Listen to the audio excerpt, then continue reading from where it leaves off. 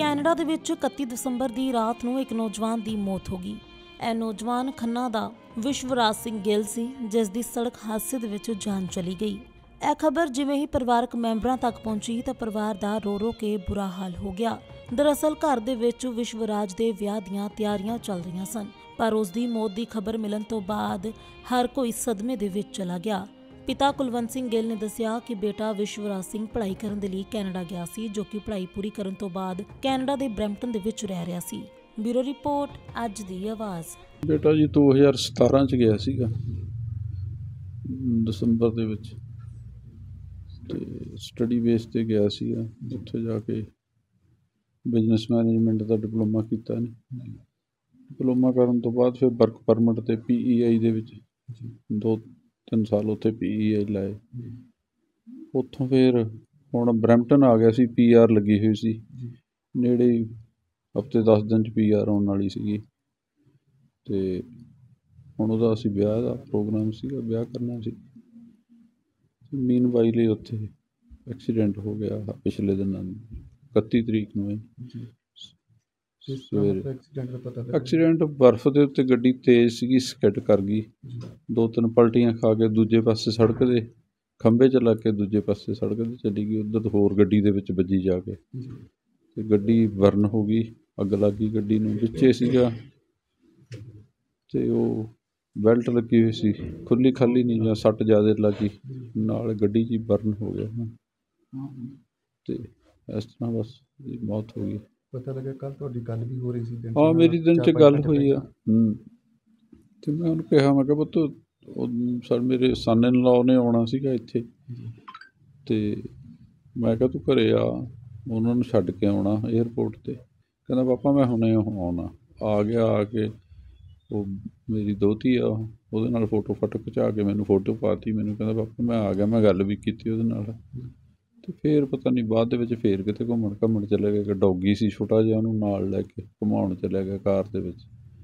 ਉੱਥੇ miss happening ਹੋ ਗਈ ਬੱਚਾ ਗਾਣੇ ਗਾਉਣ ਦਾ ਵੀ ਸ਼ੌਂਕ ਰੱਖਦਾ ਹਾਂ। ਬਹੁਤ ਅੱਛਾ ਗਾਇਕ ਸੀਗਾ ਜੀ ਬਹੁਤ ਰਾਈਟਰ ਬਹੁਤ ਵਧੀਆ ਸੀ। ਤੇ ਉੱਥੇ ਬੜੇ ਦੋਸਤ ਤੇ ਕਹਿੰਦੇ ਸੀ ਵੀ ਅਸੀਂ ਤੇਰੀ ਐਲਬਮ ਕਰਾਉਣੀ ਆ। ਹੁਣ ਇੱਥੇ ਆਉਣਾ ਸੀ ਅਸੀਂ ਤਿਆਰੀ ਸੀ ਪੂਰੀ ਉਹਦੀ ਐਲਬਮ ਕਰਾਉਣੀ ਸੀਗੀ। ਤੇ ਤੇ- ਪਤਾ ਲੱਗਿਆ ਉਹਨਾਂ ਦੇ ਜਿਹੜੇ ਮੈਸੇਜ ਹੋਣ ਵਾਲੇ ਸੀ ਉਹ ਵੀ ਆ ਗਏ ਸੀ। ਹਾਂ ਉਹਦੀ ਮੰਗੇਤਰ ਸੀਗੀ ਕੁੜੀ ਉਹ ਵੀ ਉਹਨੇ ਇਕੱਠੇ ਹੀ ਆਉਣਾ ਸੀ ਉਹਨਾਂ ਨੇ। ਉਹ ਮਤਲਬ ਦੋ ਤਿੰਨ ਦਿਨ ਪਹਿਲਾਂ ਆਈ ਆ ਉਹ ਇੱਥੇ ਸਾਡੇ ਕੋਲ ਵੀ ਆ ਕੇ ਗਈ ਆ ਉਹ ਸਾਨੂੰ ਬਹੁਤ ਵੱਡਾ ਉਸ ਗੱਲ ਦਾ ਵੀ ਸਦਮਾ ਕਿਉਂਕਿ ਅਸੀਂ ਤਾਂ ਪੂਰੀ ਵਿਆਹ ਦੀ ਤਿਆਰੀ ਦੇ ਨਾਲ ਉਹ ਬੇਟੀ ਵੀ ਆਈ ਸੀ ਬੜਾ ਅਸੀਂ ਆਉਣ ਤੇ ਉਹਦੇ ਸ਼ਗਨ ਮਨਾਏ ਵੀ ਵਿਆਹ ਕਰਨਾ ਹੁਣ ਥੋੜੇ ਦਿਨ ਜਾਂਦੀ ਹੋਈ ਸਾਨੂੰ ਮਿਲ ਕੇ ਗਈ ਘੰਟਾ। ਤੇ ਬਹੁਤ ਵੱਡਾ ਨਿਆਂ ਹੋ ਗਿਆ ਪਰਮਾਤਮਾ ਨੇ ਬਹੁਤ ਵੱਡਾ ਧੱਕਾ ਬੰਦੇ ਨੂੰ ਖਬਰ ਮਿਲੀ ਤਾਂ ਬੜਾ ਉਹਦੇ ਮਨ ਨੂੰ ਹਾਂ ਜੀ ਠੇਸ ਸਾਰਿਆਂ ਨੇ। ਜੀ ਇੱਥੇ ਸਾਰੇ ਹੁਣ ਜਿੰਨੇ ਵੀ ਲੋਕਾਂ ਨੂੰ ਪਤਾ ਲੱਗਿਆ, ਜਿੰਨੇ ਆਮ ਆਦਮੀ ਪਾਰਟੀ ਦੇ ਜਾਂ ਸ਼ਹਿਰ ਤੇ ਮੇਰੇ ਹੋਰ ਪਹਿਲਾਂ ਮਹਿਕਮੇ ਦੇ ਸਾਥੀ ਨੇ, ਸਾਰਿਆਂ ਨੇ ਬਹੁਤ ਦੁੱਖ ਮਨਾਇਆ, ਸਾਰੇ ਆ ਰਹੇ। ਪਰ ਕੀ ਕੀਤਾ ਜਾ ਸਕਦਾ ਪਰਮਾਤਮਾ ਦਾ ਭਾਣਾ? ਇਹਦੇ ਵਿੱਚ ਕੁਝ ਕੀਤਾ ਨਹੀਂ ਜਾ ਸਕਦਾ। ਬਹੁਤ ਵੱਡਾ ਘਾਟਾ ਪਰਿਵਾਰ ਨੂੰ ਪੈ ਗਿਆ ਸੀ ਬੜਾ ਹੀ ਹੋਣਹਾਰ ਨੌਜਵਾਨ ਸੀਗਾ ਤੇ ਬੜਾ ਹੀ એનર્ਜੈਟਿਕ ਸੀਗਾ। ਪੜ੍ਹਨ ਦੇ ਵਿੱਚ ਬਹੁਤ ਅੱਛਾ ਸੀਗਾ। ਪਰ ਵਾਹਿਗੁਰੂ ਨੂੰ ਪਤਾ ਨਹੀਂ ਕੀ ਮਨਜ਼ੂਰ ਸੀ। ਸਾਡਾ ਪਰਿਵਾਰ ਦਾ ਘਾਟਾ ਪੂਰਾ ਨਹੀਂ ਹੋ ਸਕਿਆ। ਸ਼ੁਰੂ ਕੀ ਨਾਮ ਤੁਹਾਡਾ? ਮੇਰਾ ਨਾਮ ਮਨਵੀਰ ਸਿੰਘ ਹੈ ਜੀ। ਤੇ ਜਿਹੜੇ ਵਿਸ਼ਵਰਾਜ ਸੀ ਇਹਦੇ ਨਾਲ ਤੁਹਾਡੇ ਕੀ ਰਿਲੇਸ਼ਨ ਸੀ?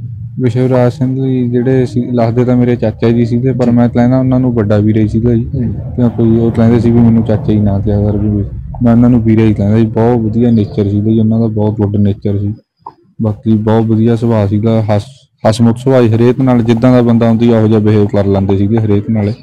ਬਹੁਤ ਵਧੀਆ ਜਾਣੀ ਬਹੁਤ ਕਦੋਂ ਵੱਡਾ ਘਾਟਾ ਗਏ ਪਿਆ। ਕੈਨੇਡਾ?